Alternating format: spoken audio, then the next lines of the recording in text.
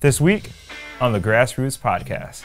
being that young, like at 20 years old, I kind of expected it was just the next progression. Yeah. And and when it didn't happen right away, I was uh, a little bit thrown back, and um, it was tough to try stay motivated to say no, I'll get there. You know, just keep working hard, keep getting exposure, and uh, eventually I'll get picked. Which I was lucky enough to for that to happen last year. It's those days that you don't want to get out there and you Hmm. don't want to put it. You have to, you know, drag yourself to do it. Doesn't matter what you're feeling like because if you take that one day off, the other guy that's fighting for that spot's not taking that day off. So For me, the best feeling is having someone else believe in your abilities to do Yeah. something like represent your country. oh yeah, Like when you get that phone call or they come up to you and ask that if you want to be involved, like you can't describe that feeling.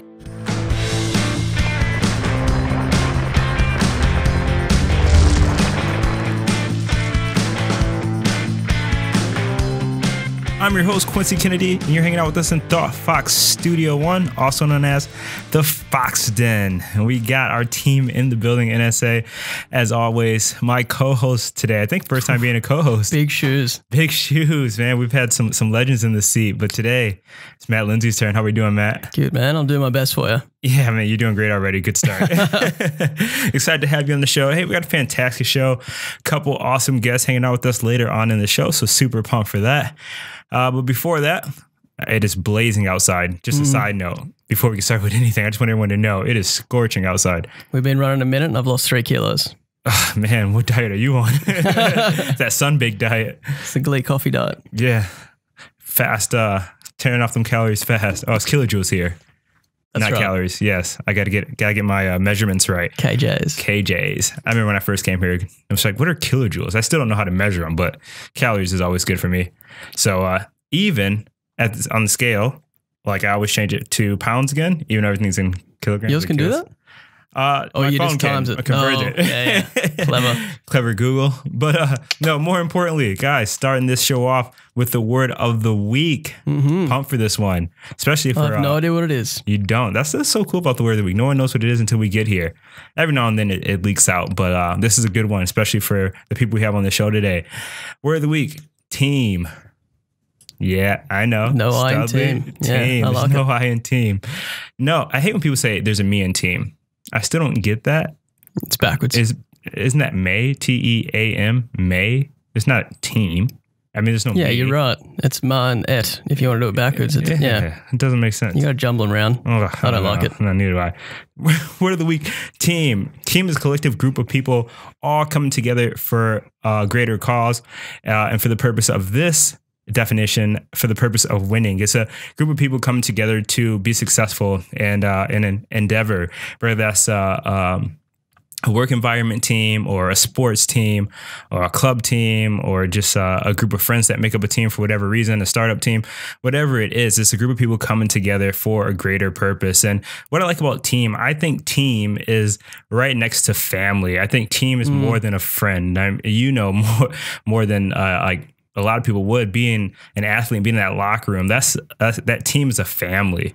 You know it's not just your friends or your mates. It's like it's a bond that you guys have and it's something really special. So i, I think a team we all work together to create or uh, to achieve that greater goal. And through that we build relationships. And uh, don't want to use the word intimate but uh, it's, it's, a- it's a deep relationship that you have with uh, with your team. And everyone's always empowering each other and it's, it's a great atmosphere. So word of the week team what do you got for me I love that word. Um, particularly for me, like I've always wanted to do team sports growing up for the exact reasons that you've just uh, spoke about, and I love that uh, about a team. It can be a, a bunch of individuals at the beginning, but as soon as they get into that room, into the locker room, at wherever it may be, everyone unites to become that team for the common goal, and that's what's so exciting about it.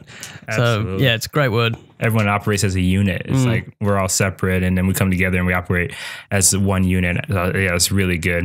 And you're talking about like yeah, growing up. I remember that was a great aspect of it too, because you just have a different relationship with those people, especially in school. The sporting community, uh, the sporting environment, the way it was in the states and in Canada, when you play for your school. Or you play in like a, a township or city league, and then you come to school and you see those people. Those are usually your friends as well. So it's mm. kind of cool. You know, you take it on the field, on the ice, and then you bring it to school, and you guys still have that bond. So, yeah, Really cool. Word of the week team. Love it. Love it is good. Hey, we got some uh, NSA talk for you guys, a new segment that we've been running for a couple weeks now. And uh, starting this one off, I think uh, about time this comes out, me and John will be back from Canberra running a, Yeah, a clinic. That's right. So uh, super pumped to be uh, riding shotgun with him and getting to experience some of the things that he does on the ice. That's going to be really fun. And I'll be the cameraman doing the the Instagram uh, Instagram stories for him. That's and uh, yeah, You better live up to the hype. Oh man, I don't know if I can. He's smashing it right now, He's but good, yeah. Uh, but man, what you guys got going on is fantastic, man. I'm just mind blown just seeing everything you guys are doing. And John just gave that awesome uh, talk to, was it the national team? The Yeah, the uh, national camp for the uh, Pee-wees, so 13 and under, yeah. yeah, fantastic talk. If you guys haven't seen that, I believe he did it live on uh, Facebook, so you guys can check that out over at the Elite Prospects. Is that No, for the NSA Hockey's It is, Facebook, it- yeah. yeah. sweet. So it's on the NSA Facebook, NSA Hockey Facebook. So make sure you guys go check that out. But uh, outside of that, Matt, what's been going on? Yeah, I think uh, last week John and Dave kind of brushed on uh, us doing some clinics and stuff coming up. And what excites me the most is that we're growing uh, up and down the East Coast now. So, you know, last year we sort of dabbled a little bit into Sydney, but now we're actually getting emails requesting our presence down there. And That's awesome. and Canberra now too, with you guys going there or just have gone there. So uh, it's really excited to see that growth and getting our brand out there. Um, we also have our Learn to Play program starting back up in a few weeks, which I'm super pumped about. It's one of the things that I'm most passionate about because that's where you know, people just come off the street. You see them smile as soon as they walk into that rink. It's a great atmosphere, and uh, we've restructured it this year. So um, they're going to have uh, their coaching staff's going to be a lot more well equipped with what they're going to be running. Um, our evaluation process is getting a lot more streamlined. So we're going to be converting a lot more people into hockey players. So that's really good. That's awesome. I know uh, for lacrosse, with our Learn to Play getting ready to start back up, uh, adult Learn to Play in the U15, uh, definitely going to copy some of those things that you guys are putting into place as well, just streamlining some things because uh, uh, some a lot of, a lot of great things happening with lacrosse. One being uh, an actual MPO coming together to start functioning uh, and growing lacrosse out here, just being that engine to grow lacrosse in the school. So we're super excited to to partner with those guys and, and get lacrosse really moving. But one of those things that we're going to be doing is training those guys uh, to be able to play in that elite level and Yeah. NSA starting leagues out here and actually have an official leagues like a, a actual women's field comp and a box comp and uh, a men's field comp you know later on this year. Uh, just being able to train those kids like you guys are in a structure that we can say okay point a point b point c here exactly. you know you're playing at a competitive level. So super pumped about that. And uh, what you guys have going on. Anything else? Um, another thing that we're not directly involved, but what I'm super excited about this year is um, for the first time in probably eight, 10 years, uh, there's going to be a junior local competition uh, starting up. So, what we, the issue we had previously was uh, come March every year, if kids came out to learn to play and said, Where can I go next? It was, oh, try out for the rep team. It takes, there's 15 kids that make that. If you don't make that, then sorry, there's nothing else for you. Hmm. And it just used to crush me seeing people and having to try justify to parents, oh, spend a thousand dollars on your equipment, but if you don't make that rep team, you got to wait until summer. Oh that's rough So I'm super excited that we now have a path for those kids that still need the development and all that sort of stuff, somewhere for them to go. So we're going to be heavily involved in that. Um, so it's going to be super, super exciting. man you guys are smashing it we've been together for what a couple years now four years Yeah, this is our fourth year. Man, so good. Good to see the, the game of hockey growing here. And I remember when John told us he was coming over here to play hockey, and we're just like, oh, there's ice in Australia. Does that happen? But I guess that's just like ice being in, you know, in south, uh, down south in America. So, Yeah, that's right. I mean, yeah, whatever. Regardless, awesome what you guys are doing. Super excited. So uh, we'll guys, we'll keep giving you guys follow ups in regards to lacrosse and hockey and NSA. Super pumped. But uh, with that, man, got some awesome guests. Can I quickly interrupt you for just one second? oh, definitely. You've got me really excited talking about that uh, field women's comp that you want to try to get going because Yeah. I remember, I think it was last year actually. We uh, at the start of the season we went to Perth on a road trip with the North Stars and we went to a tournament, a lacrosse tournament out at, in WA. Yes. And I think it was it was a women's and a men's. I'm pretty sure, but we watched the women's play and it was so inspirational. They looked like they were having an absolute blast. So I'm so pumped to hear you guys are actually getting that in Newcastle. Oh, we've had so many requests. There's a few girls out here who've played competitively, and uh, since we started the Mod Cross League, they're just like, "Is there a women's comp? Is there a women's comp coming?" And then we get phone calls like two girls from Germany, me a couple foreign exchange students who have played competitively. Uh, a girl from the UK, a girl coming from the East Coast in August who just want to play competitive women's lacrosse. So I think it's good that we take that next step. But uh, I know for us, we're trying to get the league up and going before uh, Ava gets old enough to play, so, so we can have a little laxer in the Kennedy family. But uh, no, I mean, like I love women's lacrosse, and uh, it's a bit of a different game, but different rules. But uh, I mean, I love it as much as I love uh, you know men's lacrosse. It's just it's so competitive, and it it just looks so dope. It looks like so legit, like and and the girls are so athletic and uh, they're so talented. So Yeah. it's really cool to see. But yeah, we're gonna get that rocking and make more history here in, in. Newcastle and the Hunter. Awesome. So with that, moving on, got some awesome guests, uh, Jase as always, and uh, a great friend of ours who we will introduce in a second.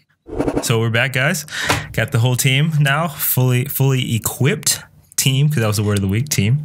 Actually, before we get started, actually I'll introduce people first. got, got the full team on board. Jase from Enliven Nutrition. Jase, how we doing, man? I'm great, man. How are you? I'm, I'm good. I'm trying to figure out how to get this thing going. So uh, just stuttering a bit. Uh, yeah, it's good to have you back on. I'm loving that shirt. Uh, me too. Are they new? New threads, mate. Um, Sharp. 11 uh, division. We've got the uh, the performance threads up there now. So um, very, very So shortly, neat. online Oh, store, legit. guys. Very nice. I'll be there. Yeah, definitely so pumped. Maybe my guns can fit in there. Is that is that the right material for these? Well, this is only a medium, mate. So I did order the extra large just in case for the the Q guns see, and packs. see, that's a deception. People think I wear extra large, but I'm really a medium. you just like You to and I, I like it the way. I like the way the, the cup fits. That's it. Awesome. Hey, I got a great friend on the show with us today. I'm so pumped to have him on. Uh, we met about uh, probably a year and a half, two years ago. Uh, gave him a, a shot him a message on Facebook. Uh, was looking for some some lacrosse in Newcastle, and ran into this uh, guy Matt Taylor. Matt, how we doing, man? Yeah, good, Quincy. How are you? Yeah, fantastic, man. Thanks for being on the show. Ah, not a problem. Matt, we have a lot to talk about. Talking about, oh, yeah, this is what I was going to say.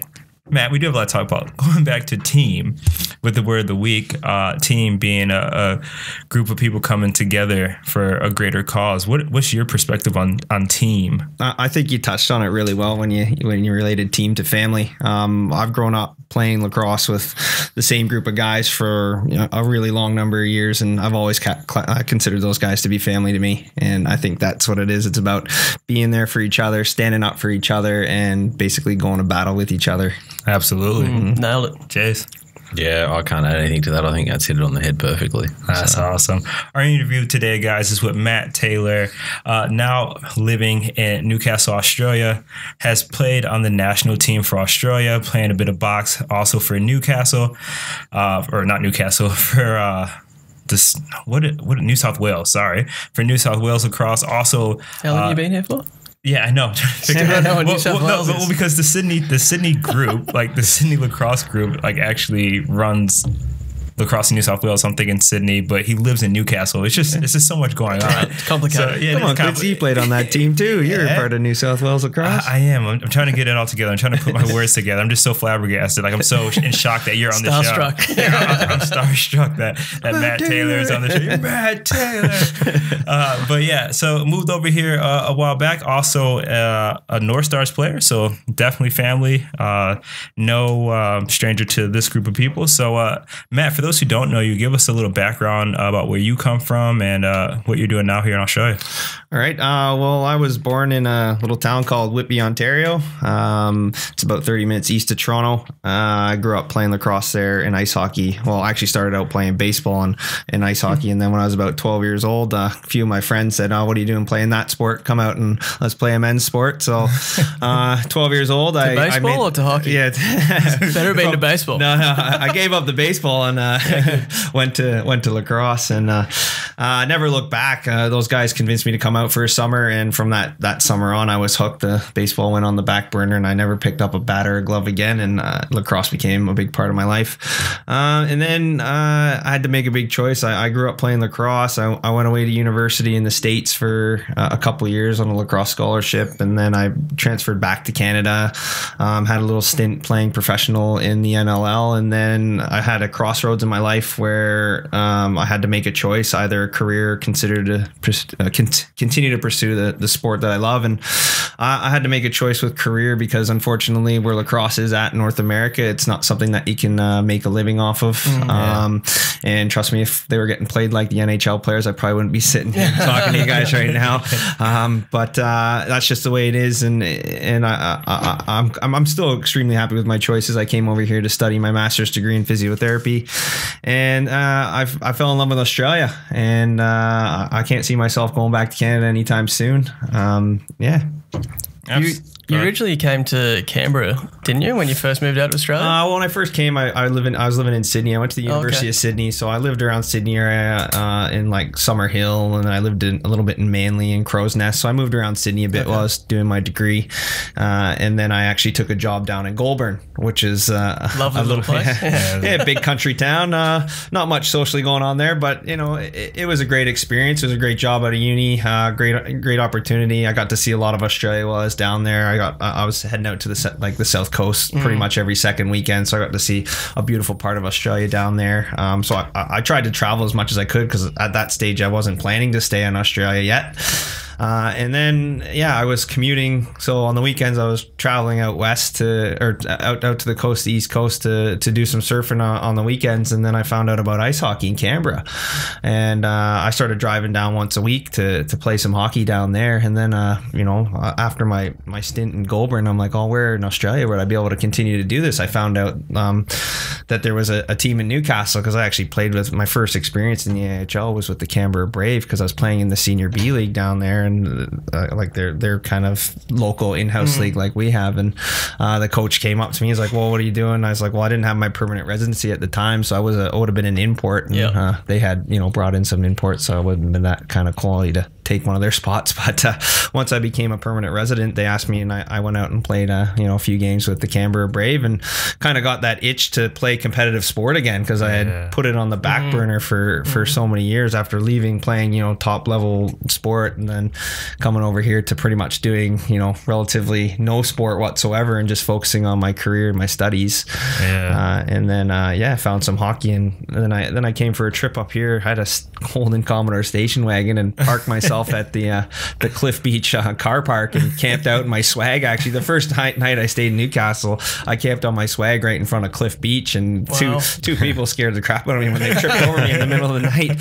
Uh, and I just found everyone was really friendly here. I love the beaches. I love the area. And uh, there's you know 20 minutes down the road in Warners Bay here. There's an ice hockey rink, and uh, so I was I was sold right then and there to move up to Newcastle. So Absolutely. Uh, before we get into the topic, let's talk more about about you.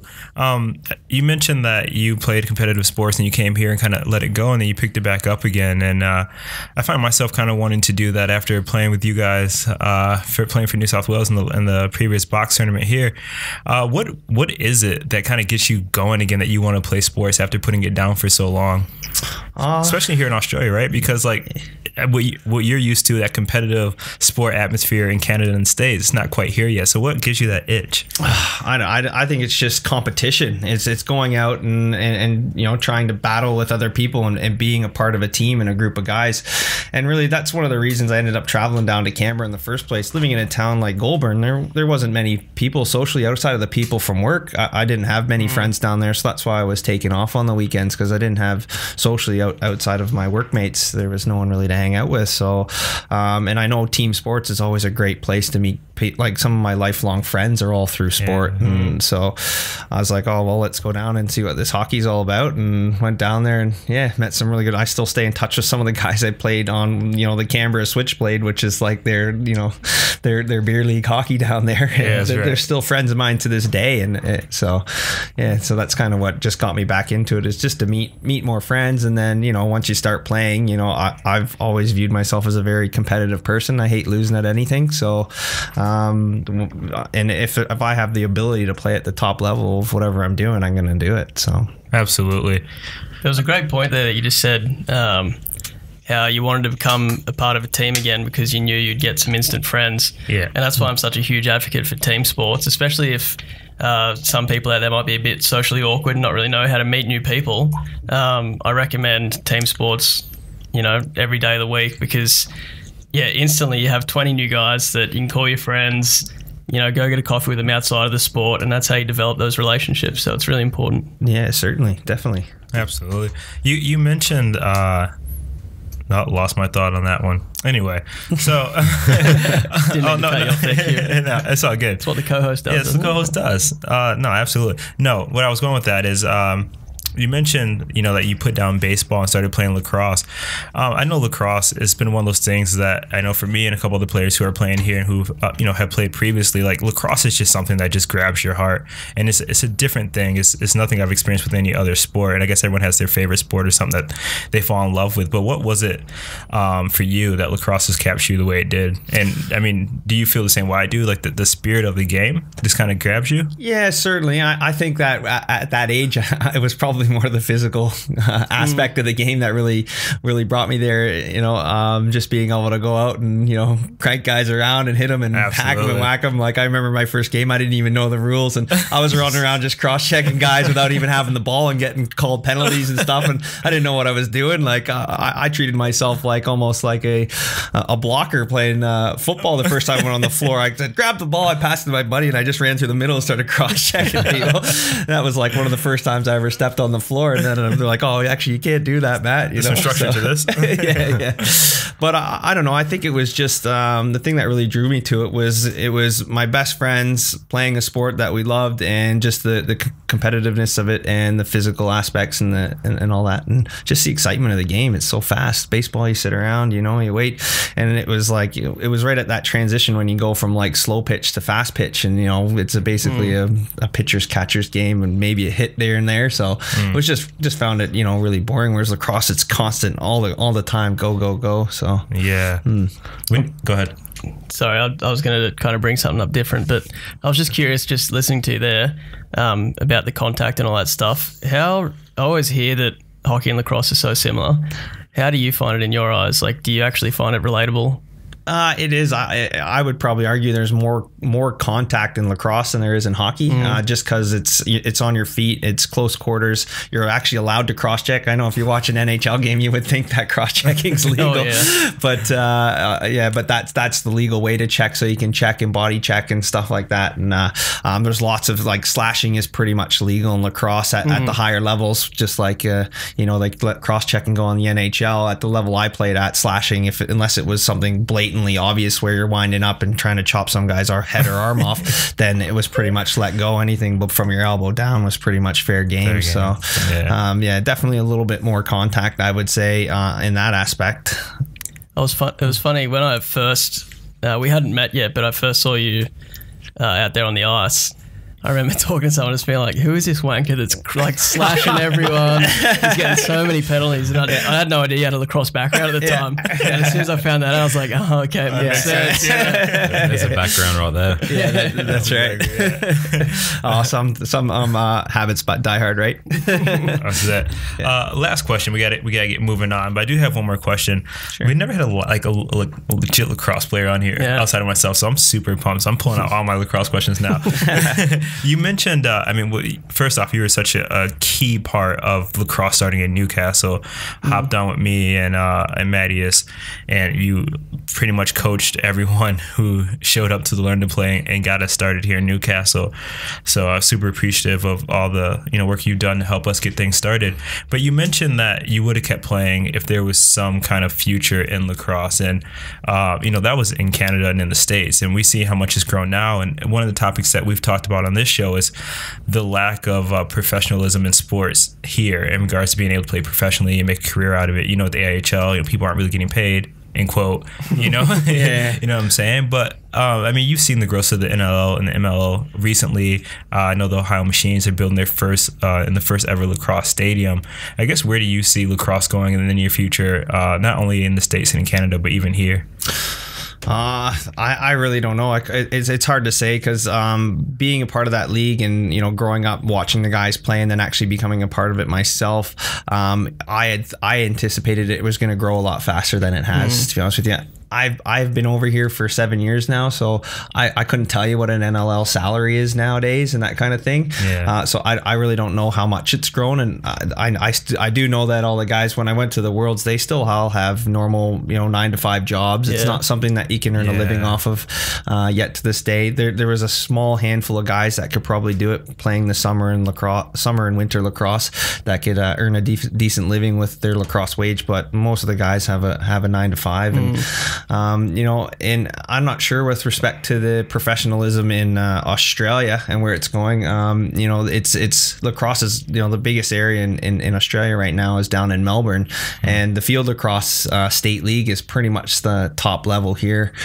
Um, and I know none of those guys get paid to play and or anything like that. So it, it, I I really can't answer that question. I have no idea where it's gonna go. So Yeah, uh, I'd love to see it go, you know, through the roof, and you know, I'd love to be able to see the guys that I, you know, still playing the game, you know, be able to earn a living off playing the sport they love. And like I said, if that were the case, I probably wouldn't be here today. But uh, Yeah, that's right. Uh, you know, I, know, I saw time gets us. I saw an Instagram post, I think from Rabil or someone who was saying like all you people who are, you know, talking about professional lacrosse players, and he was just making the statement that the NFL started at that point, you know, where it's like nobody was getting paid and they were trying to figure out figure things out and Yeah. it, it was looking the way lacrosse looks now and now look at the NFL so he was just being optimistic about it it's like yeah you know fair enough but uh got got all my lacrosse out thanks man yeah, it's, it's funny that you said that because it's the same way the NHL started out. All the guys had regular jobs as well, and look at them now. And they were that's what the expectation was when I was playing is that eventually it would get to that level, but Yeah. and not not in my era. That's for sure. Yeah. Well, maybe again when Ava's old enough. She'll be playing professional. Actually, so another side note, but we're moving on. I promise, Mike, Mike, the producer, I promise we're moving on. Uh, women's lacrosse, uh, the fastest sport to have a professional women's league. So I think that's pretty legit. Yeah. Yeah. So Cool. Good on you, lacrosse. Yeah. Awesome. So, topic of the hour, guys. After we're 30 minutes in, um, topic, guys. Uh, representing your country playing sports, guys. Uh, a great topic for today because we got two players, both Matts here, have represented uh, Australia uh, on the national level, being able to play uh, both hockey and lacrosse for, for the country. So, we just want to talk about that and that experience and, and what that looks like. So, we're going to chat about that right after the break.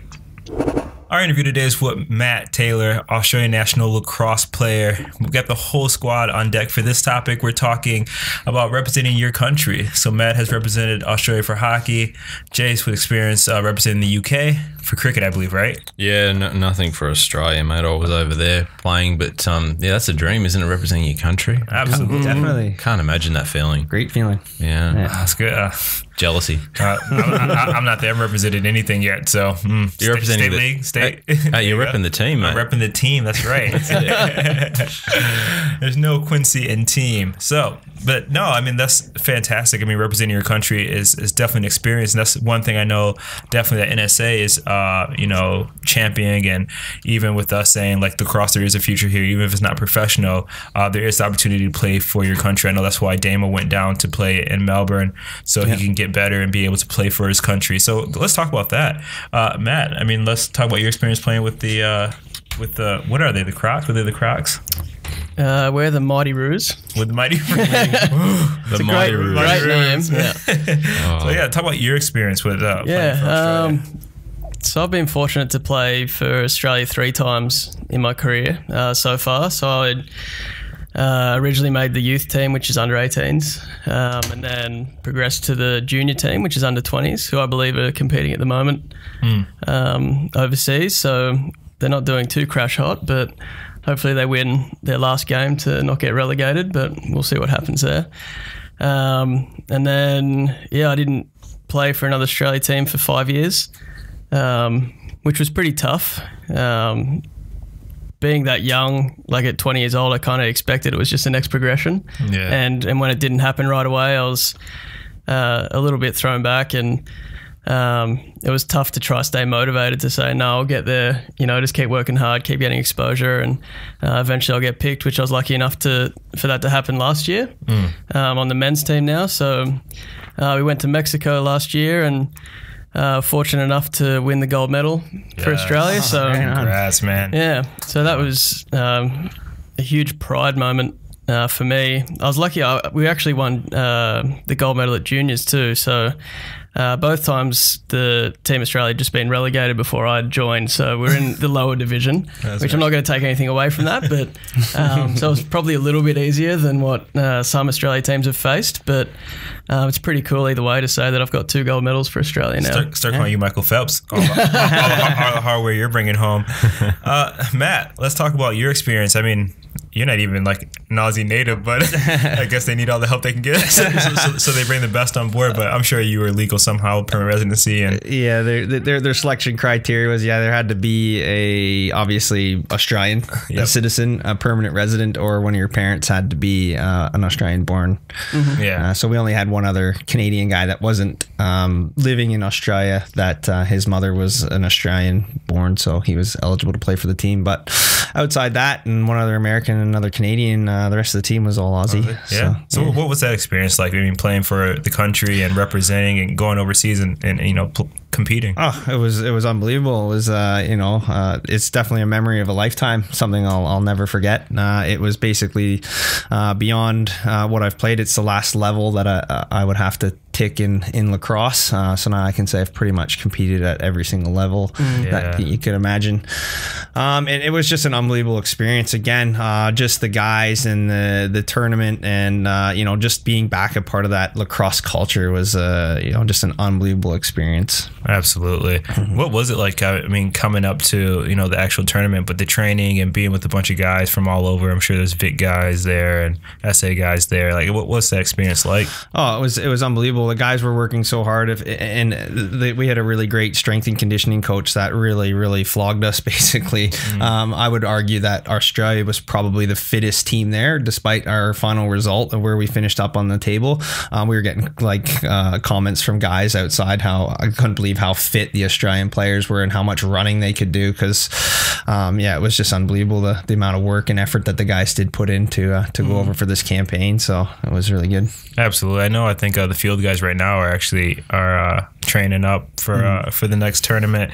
But uh, yeah, so elaborate a bit more. So I guess I mean in regards to experience, I mean really kind of like dive deep. Like what is that feeling? So when you I guess yeah, what actually happened? So how did you get to play for uh, the national team? Uh, so I actually um, joined their uh, kind of campaign uh, uh, later than most of the other players. Uh, I I was unaware of the indoor nationals that were coming up, and I went down to play for New South Wales in the indoor nationals the year before, like in the twenty. I guess it would have been 2014.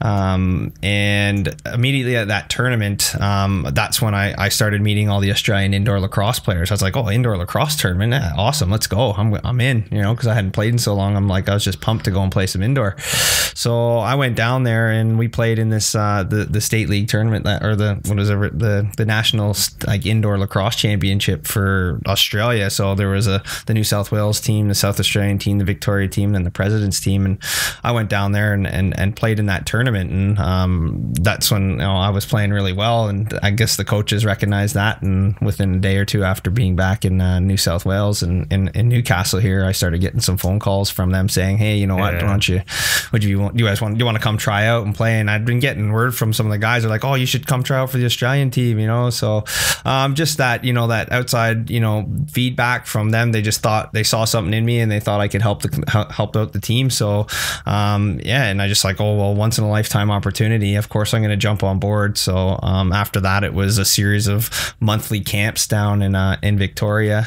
um, flying in and out um, every weekend to play state league in, in Victoria for the Footscray Club. Um, so it was a lot of travel, but uh, overall, the experience was like uh, unbelievable. Like, Yeah, um, yeah, and the passion of, of, of the Australian players and the guys, and um, how much they were putting in, and the effort, and like the workout regime that we had to go through and stuff like that was just uh, incredible. Um, yeah. That's You awesome. touched on it briefly there, but um, for me, the best feeling is having someone else believe in your abilities to do Yeah. something like represent your country. Oh yeah. Like when you get that phone call or they come up to you and ask that if you want to be involved, like you can't describe that feeling to Yeah. to have that recognition and all that hard work pay off is yeah. Mm. Oh, certainly. Always Definitely. that seed of doubt. It doesn't matter what level you mm. play. I think you'll step onto whether the ice or onto the field, and it might only be one percent, but it's always there. And to have that person say, "Hey, You know, you're you're the person for the moment. You're the person for that position for this mm. team. Uh, it's the best way to take it away. It Yeah. really, really is. That is that, that's incredible. I can't imagine what that feels like. I mean, again, big shout out to Damo. Get that opportunity. Uh, you know, just working hard and making that happen. I, I can't imagine what that feels like. And like you said, you have that seed of doubt, you know, a bit. But I mean, again, if someone is coming to you, then they feel that you're a reliable team member. Here we go. Valuable. Yeah. Valuable, Yeah. valuable team member. So you know that's fantastic. So when you talk about the training regimen, and I guess uh, Jase weigh in on this, how intense was it compared to like a regular season?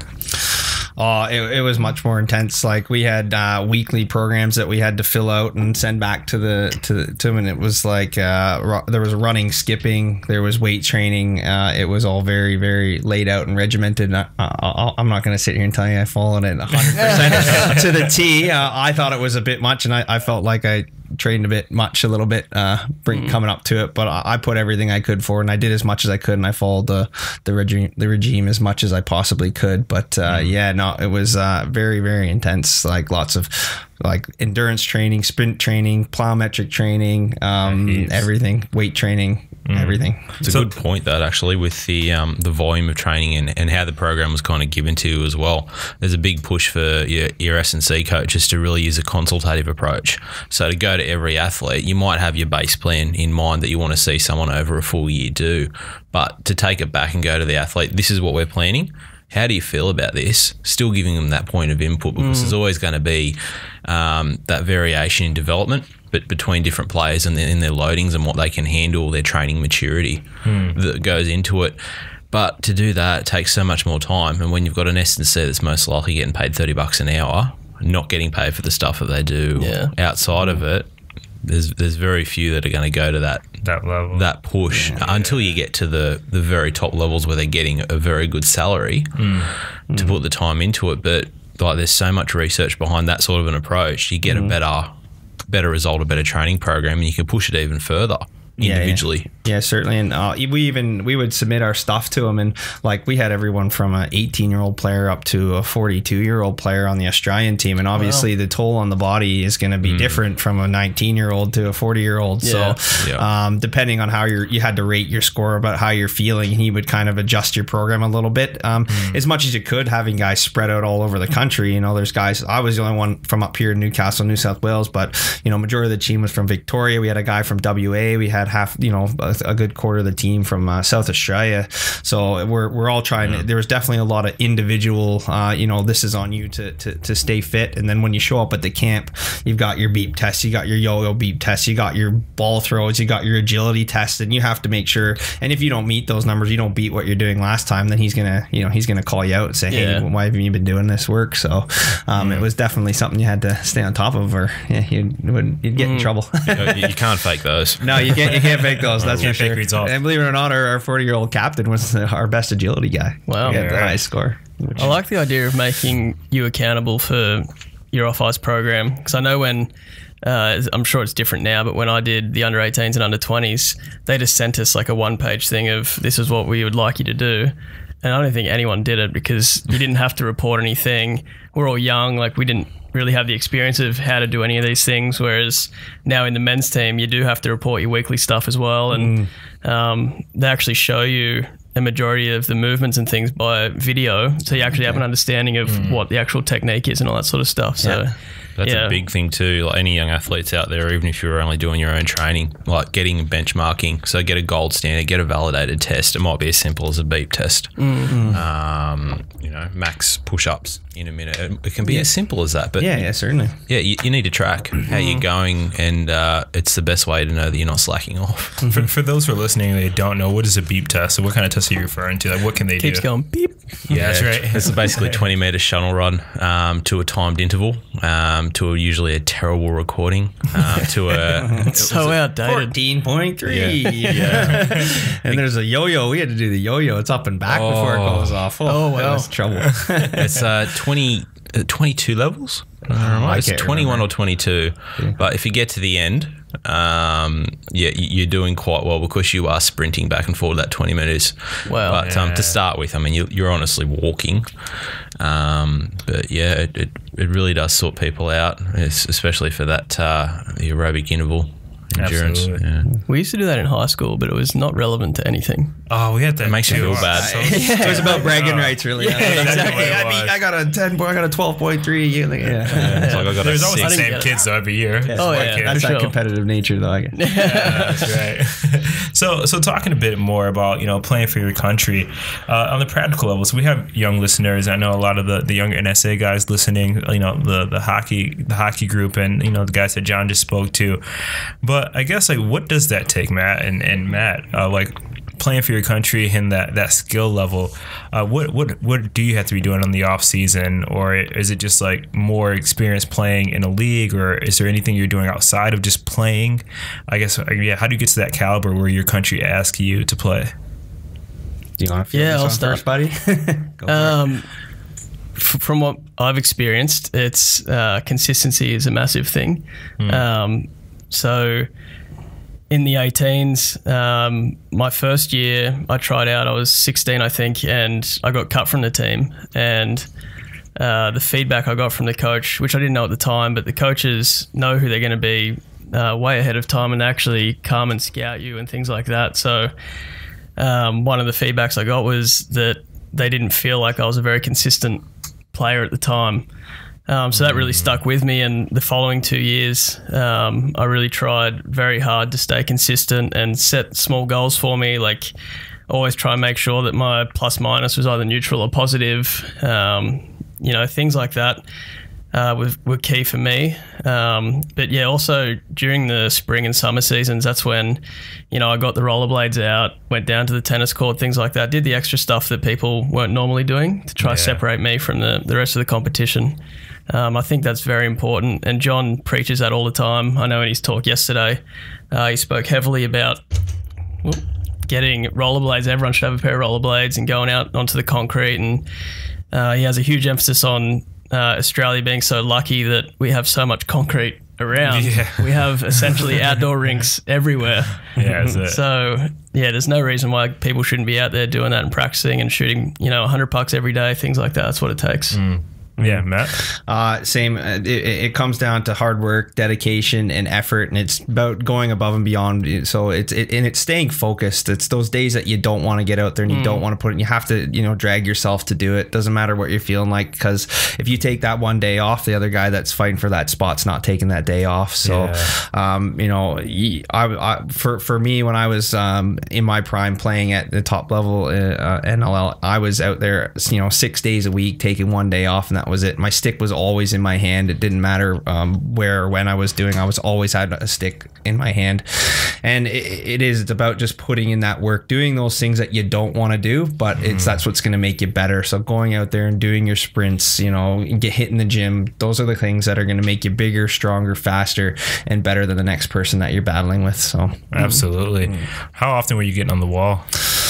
Oh well, daily, pretty much. Yeah, yeah. When I, I- I'd have my stick in my hand every single day, pretty much. Um, Even if I was just sitting on the couch you know, watching TV, I'd be sitting there fiddling around with it, uh, just getting the feel of the ball and in my hands and that kind of thing. So yeah, pretty much every day I'd have the stick in my hands. Absolutely. So it's those little things. I remember even uh, John, this being at when we back lived, lived together back at home in Michigan. Like he was always wearing his equipment. Like always had, always had his gloves. Sitting watching TV with his helmet on. yeah. I mean, I'm sure he would just to get the visual. Like, oh, I gotta make sure I can look over this bar. But uh, like, he always have his gloves and, and his stick in his hand in, in the living room. So it's like burning holes in the carpet, just Stick stick handle, yeah. handling. Yeah, yeah. Or we always, uh, you know, we we had a, like a, a tennis court. We were always playing roller hockey, and if we weren't actually playing, you know, games with the local kids or whatever, he was always out there just shooting holes in the net, just peppering and uh, you know, aim for that top corner as they do.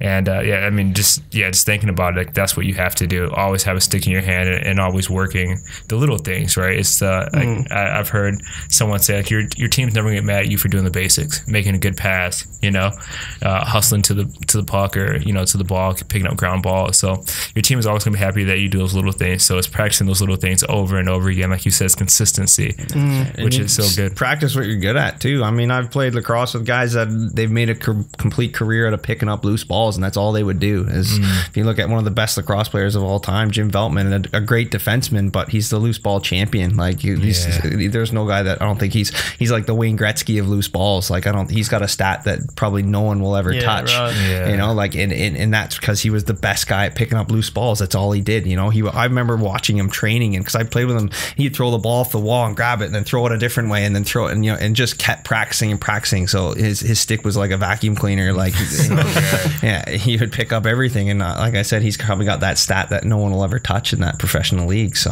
Mm, it's just the heart, you know. It's like you're so passionate about something that like that's not practice to him or to you guys or whoever else who plays at that caliber. Like they just you just love it. Like it's just Yeah. it's fun to you guys, you know.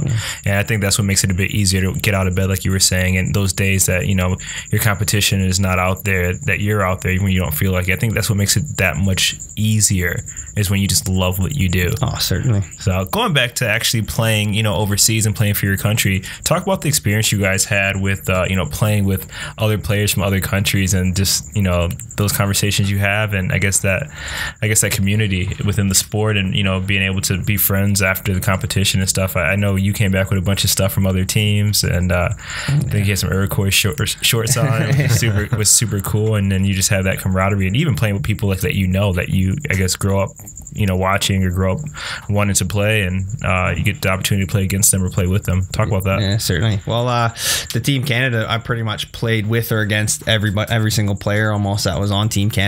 Were they like, what are you doing in yellow? Yeah, what are you doing in Australia, Tails? Yeah, uh, yeah. No, it was just it's just lacrosse is one of those. It's such a small like even though it is a worldwide sport and it's growing massively, it is actually a small community. The indoor world. I probably knew players on almost, with the exception of the Swiss team, I pretty much knew at least one or two guys on almost every team. Um, so yeah, but it's it's just one of those things. It's a, it's a common interest that you have. It's a common interest for a love of a sport. So, um, Um, and being able to, like I said, you're all over there representing your country, and yeah, it's just one of those things. As soon as the tournament was over, it was like at the final game, everyone brings all their swag with them and trades their stuff. I think I got something from everyone's team. I got something from the Czechs because I my, I played. There was a goalie on the Czech that I played with in in Toronto. I've got a German jersey. I've got you know Swiss shorts and a jumper. You know I've got Yeah. a Canada one. I've got a Iroquois one. I got a USA. You know I've got I got pretty much something, and I had to swap all my. Everyone wants the Australian gear though Oh, for some reason. I, I was like I couldn't like I couldn't hang on to it fast enough. Everybody wanted something from the Australian team, so we were like everyone was. We didn't even really have to go up and try to pursue anything because all these players from all these other countries are coming up and talking to us. But yeah, at the end of the day, I think it's just a shared passion for a sport that they love, and uh, and, and that's what uh, you know what what brings us all together. Absolutely. Do you find the same with the hockey community? Yeah, hundred percent. Same thing happens. You know, gets the end of the tournament, everyone wants to trade stuff. I've actually got a funny story. So, all the teams uh, when we were in Mexico last year were in the same hotel because it had to be armed by guards and things like that. Uh, super safe country though, from my experience. So I don't know why we had those, but uh, the last night, a few of the uh, guys went. spring And, breakers. a few of the guys went and just celebrated down at, uh, in the hotel bar and um, came up to these two guys came back up to their room and they'd forgotten to uh, close their door behind them. They just kind of left it open slightly and they opened the door to see these three North Koreans rustling through all their clothing and all this sort of stuff, trying to get any sort of Australia memorabilia. So that was kind of funny to see that and have the guys have to chase these North Korean guys out there that didn't speak a lick of English. it was pretty funny Bunch of thieves. Yeah. but it, yeah, it's it's really cool to go and like most of the countries we play are uh, non-English speaking, but there's a lot of players nowadays, especially that can speak some sort of English, and it is really cool to chat to them after the games and you know just see what their experiences are like in their country and you know how their access is to the sport, and um, you'd be surprised that Australia's you know well beyond a lot of these countries that are in Europe, even though they do have outdoor rinks everywhere, and you know they don't have a lot of access to equipment. Um, the last three, the last two tournaments I've been on, uh, we've actually given away, you know, sticks and bits of equipment, and guys, you know, other teams are just crying because they're so excited because they just mm-hmm. don't have that opportunity to get the, you know, the mm-hmm. nice brand new stuff that we're able to get to in Australia. So mm-hmm. That's how we're feeling here with lacrosse. Like I want some, someone just give us some brand new. equipment. That, that'd be great. We got all our stuff when we got over there Yeah. to the tournament. It was there waiting for us. We didn't. 'cause it Yeah, was, right. Yeah, we, we didn't even we didn't get all of our. So when we showed up to the tournament, we had to put on all brand new gear that we had never even put on and practiced in or anything. Oh, So, they yeah. set you guys up That's for that fresh. one. Yeah, yeah. they, they were looking. Well, we had you, so about six exhibition games to get ready for the tournament in it, so it was, it was all right. that's and it was That's the newest stuff. I couldn't believe how far the the um, the equipment's come. Like when I used to play, you'd run around, you'd have all this extra weight on. I put this stuff on. It felt like I wasn't wearing Yeah, anything. I couldn't yeah. believe how how much it's improved in the last four or five years. Yeah, oh man, the technology and, and equipment lighter, is- keep yeah. getting lighter and keep getting better, which is which is super cool. And uh, yeah, actually, I know like uh, Australia's not ranked too bad in lacrosse. I mean, like when I remember when I first came over here, I was doing research. Depending on what you look at, I remember like the numbers I saw was like fourth and seventh. Yeah, that that was uh, the field lacrosse. They were pretty high in field lacrosse. The indoor, um, I think they did sixth in the last world, but there was a lot less teams. This was the biggest one uh, of the indoors that uh, the most amount of teams that have played in the in the tournament. We actually went well. We won our pool, and then we had a, just an unfortunate incident where our starting goaltender broke his ankle in, in our crossover game. And um, and in lacrosse, you know, not to put anything down against their other goaltenders, but you know, we had one guy that had you know you know high level experience of indoor, and then beyond that, the other guys didn't have as much indoor experience. Right. They stepped up and did a great job for us, but um, you know, it, Yeah.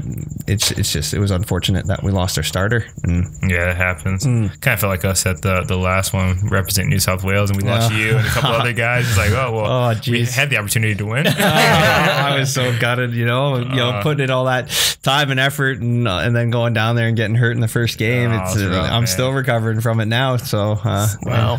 well, we gotta get you back in shape and ready to go and healed up for the for the next round. But uh, Yeah. I mean, that, that's really cool. I'm just thinking like Australia's definitely picking up their game in both hockey and lacrosse, which is really cool. And uh, I know Oregon's women's lacrosse, and I think another women's lacrosse team came over and, and played uh, uh, played some girls down, and I think it was maybe Victoria, Mount, whatever they played at. Should know those facts, but I don't. Fact checking.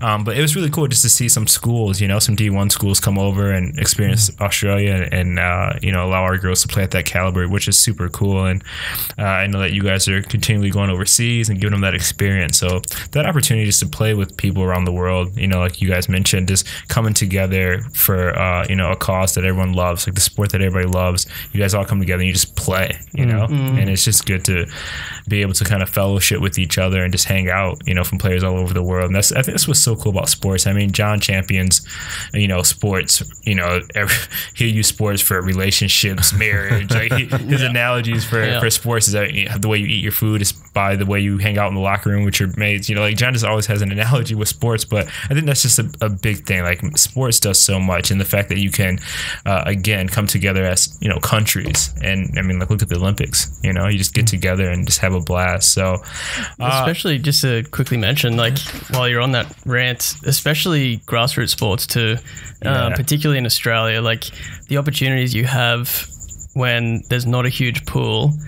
Like it doesn't matter what sport it is, to be able to represent your country is the same whether it's Team Canada or Team Australia. You get the exact same feelings. yeah, And like for the men's team, for example, if there's any kids that uh, want to try get to that, they, they pick from the AIHL teams, which is what eight teams. There's maybe 140 people, and they take 22.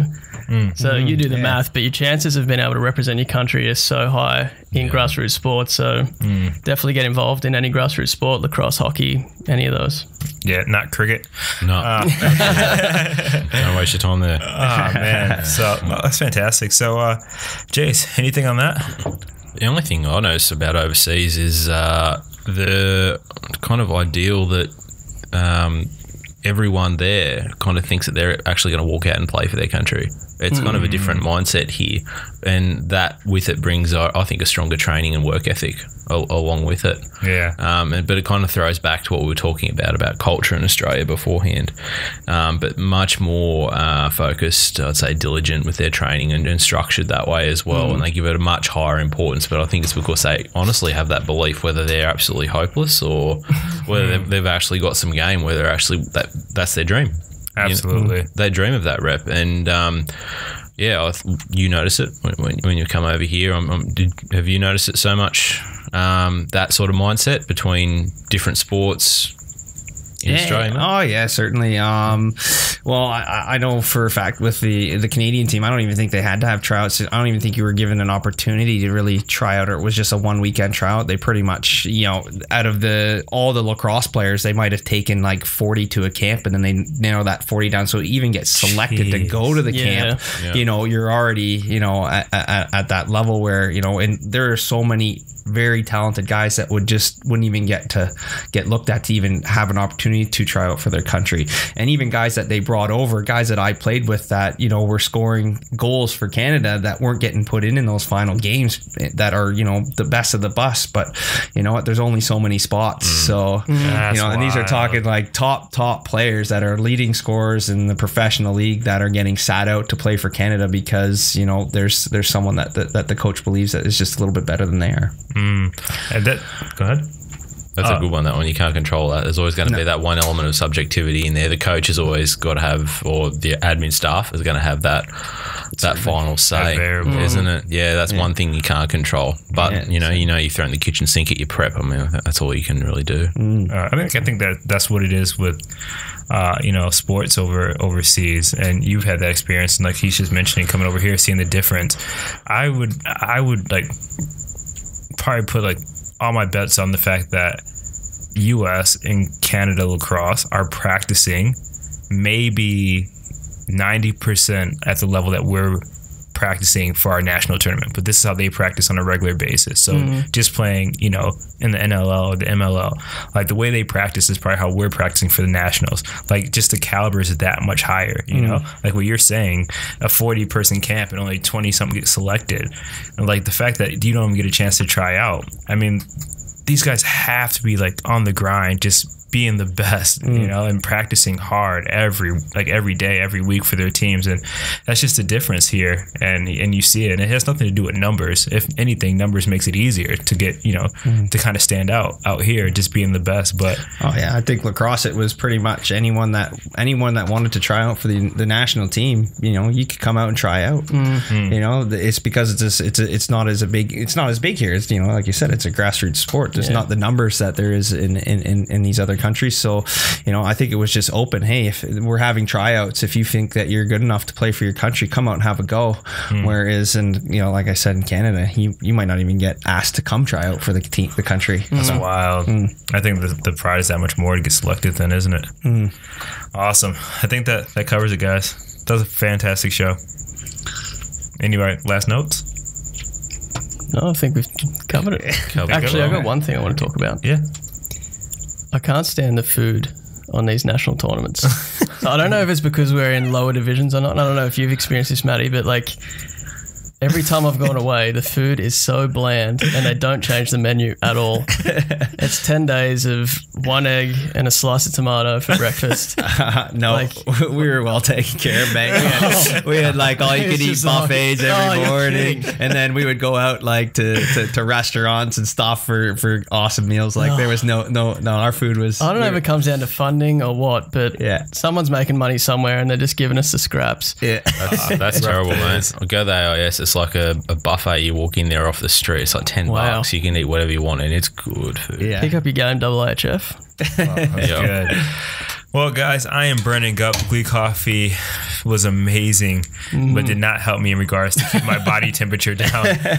so, but uh, You're turning into a puddle there, mate. I am like I am soaked, so I, I need to get some of that new uh, live nutrition sportswear and soak up all the sweat. So, what a fantastic show, Matt! Thanks for hanging out with us Uh, today. thanks for having me, guys. Definitely gotta get you on here more because uh, it's been a bit hockey bias on the show, so we need some more some more lacrosse going on here. But uh, you play hockey yourself, so tables may turn on me either way. So uh, uh, yeah, great having the team, Matt representing the country, Jase as well. Did I do it all right as co-host? Oh man, nailed it! Yeah, Loved it, man. It's good. might get invited back. We're always playing musical chairs then. So we'll, we'll see who sticks. So that, that wraps it up for us, guys. Thank you for hanging out. As always, man, make sure you hang out with us on YouTube as well as uh, download the podcast on iTunes and leave us a review so that we can get this content out to more people just like you. If you're watching on YouTube, click the red button below. Make sure you guys subscribe and keep leaving comments. Love the comments, guys. Love interacting with you. You. Make sure you guys hang out with us on the social.